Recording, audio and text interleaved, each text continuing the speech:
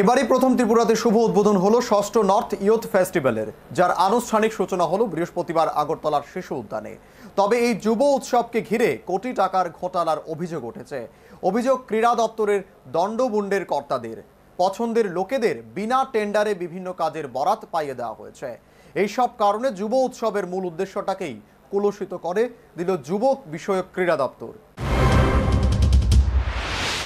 North east youth festival মানে যুবাদের এক ঐতিহাসিক মঞ্চ, যেখানে বিভিন্ন রাজ্যের যুবারা সবার সামনে তুলে ধরবে নিজেদের কৃষ্টি, সংস্কৃতি ও পরিবেশের অনাবিল আবেগ। এই সুযোগটা এবার পেল ত্রিপুরা রাজ্য। নতুন সরকারের ঐকান্তিক প্রয়াসে কেন্দ্রীয় মন্ত্রক থেকে এবারকার ষষ্ঠতম নর্থ ইস্ট ইউথ ফেস্টিভ্যাল করার সবুজ সংকেত তৎসঙ্গে আর্থিক অনুদানও দেওয়া হয়, যার বহর তিন কোটির ওপর। ত্রিপুরা সহ উত্তর পূর্বাঞ্চলের সাতটি রাজ্যের ছেলেমেয়েরা নিজেদের কৃষ্টি সংস্কৃতির জানান দেবে। উদ্দেশ্যটা মহৎ। তবে আয়োজনটা যে এরকম করবে যুব বিষয়ক ক্রীড়া দপ্তর, তা গুণাক্ষরেও টের পেল না কেউ। ক্রীড়া দপ্তরের হাই প্রোফাইল আধিকারিকরা চার দিন ব্যাপী এই যুব উৎসবকে ঘিরে কীভাবে উপরি কামাই করা যায়, তার ব্লু প্রিন্ট বানান অত্যন্ত সন্তর্পণে। এই ধরনের উৎসব থেকে টু পাইস কামানোর রাস্তাও এরা বানিয়ে ফেললেন।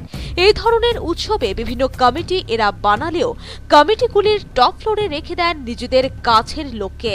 আর এদের পরিকল্পনা মাফিকই বিনা টেন্ডারে একের পর এক বিভিন্ন কাজের বরাত দিয়ে দেওয়া হয় বিভিন্ন কমিশন বাণিজ্যের মাস্টার মাইন্ডদের এর মধ্যে অন্যতম হল মার্কফেড সংস্থা যার নামে অজস্র অভিযোগ রয়েছে রাজ্য সরকারের কাছে।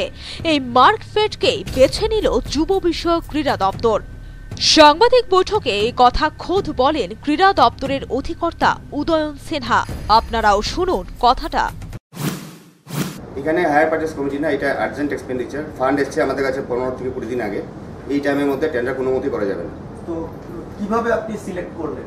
টেন্ডার তো হলো না কীভাবে সিলেক্ট করলেন? যারা সাপ্লাই করবে বা যাদের আপনি অর্ডার দিলেন ওয়ার্ক অর্ডার বা সাপ্লাই অর্ডার দিলেন কীভাবে সিলেক্ট করলেন ক্রাইটেরিয়াটা কি ছিল? ম্যাক্সিমাম পারচেজ আমরা কোপারেটিভের মাধ্যমে হয়েছে। কোপারেটিভ হুম মানে মার্কফেড বা এই অন্য যা কোপারেটিভগুলো আছে সেগুলোর মাধ্যমে পারচেসগুলো হয়েছে। সঙ্গে ছিলেন ক্রীড়ামন্ত্রী মনোজ কান্তি দেব অধিকর্তা উদয়ন সিনহা স্পষ্ট বলেন, কেন্দ্রীয় সরকার মাত্র পনেরো কুড়ি দিন আগে টাকা পাঠিয়েছে, তাই টেন্ডার ডাকতে পারেনি দপ্তর। কিন্তু এটা তো কোনোভাবেই তিনি করতে পারেন না। কোটি টাকার অনুষ্ঠানে টেন্ডার তো ডাকতেই হবে। এটা না করে অধিকর্তা সহ দপ্তরের আরও কয়েকজন মিলে এই কাণ্ডটা সটালেন, যা নিয়ে রীতিমতো ছিছি রব উঠেছে। বাইরের রাজ্য থেকে আসা ইউথরা আয়োজনও নিয়ে উষ্মা প্রকাশ করেন। যে যাই করুক যুব উৎসবের যাত্রা তো শুরু করে দিল ক্রীড়া দপ্তর। মারিং যা হওয়ার তো হয়েই গেছে, আর বাকিটা হবে চার দিন ব্যাপী সকলের খাবার দাবারের ওপর। এক একজন খেলোয়াড়ের ডিএ বাবদ ধরা হয়েছে বারো হাজার টাকা। এটা কোন ধরনের ডিএ? এত টাকা ডিএ বাবদ তো খরচ হবার কোনো মানেই হয় না। উদ্বোধনটাও এদিন জমকালো করতে পারল না ক্রীড়া দপ্তর। সঠিকভাবে পুরো মাঠে লোকই খুঁজে পাওয়া গেল না। অজস্র চেয়ার খালি। স্টলগুলি ফাঁকা। এর মধ্যে উদ্বোধন হলো এই যুব উৎসবের। ঐতিহাসিক একটা আসরের উদ্বোধন যে এতটাও সাদামাটা হতে পারে, তাই বিশ্বাস করতে পারছে না কেউই। তবে এটাই বাস্তব। মারিং মাস্টাররাও মাঠে ছিলেন ইয়েসার ইয়েসারের ভূমিকায়। Bureau report, news Vanguard.